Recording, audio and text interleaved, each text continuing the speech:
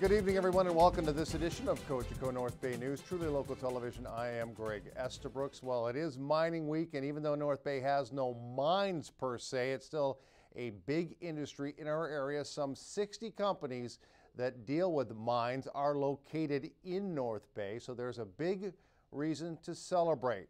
At an event at the Davedi Club on this day, guest speaker Tim Bremner of Foraco Canada spoke to many local mining representatives about the industry.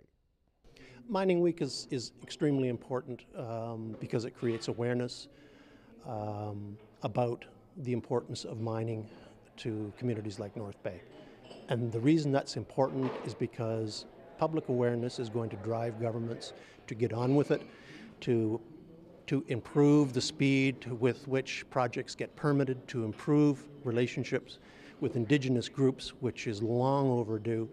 And when communities understand how important mining is, it engages them and the, and the, and the public representatives that, that govern our communities to, to get on with it and do things that promote mining in a responsible and sustainable way.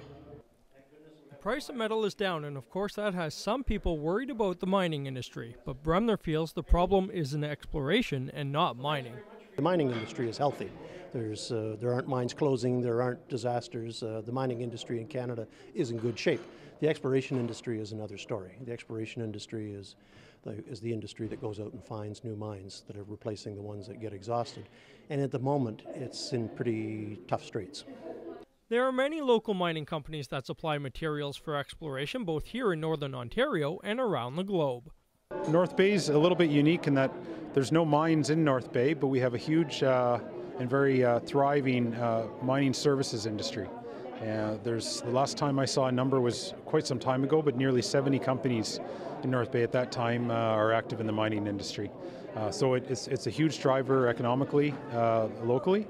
Um, and as for sort of how things are going and, and, where we're headed, no one really knows, but we're definitely in, in a prolonged downturn. And uh, Tim Bremner gave an excellent presentation today on on sort of where we've been in the last 10 or 15 years and uh, where uh, sort of the best guess at where we're going. And I, I, don't think we're through the worst yet. At the moment, the demand is pretty weak. The inventories of these metals are very high. Uh, and until those inventories get depleted through increased demand, the exploration industry will remain depressed. The industry is cyclical, and despite being in a down cycle, local mining companies hope things will turn around soon. For Cogeco North Bay News, I'm Joey Rusi.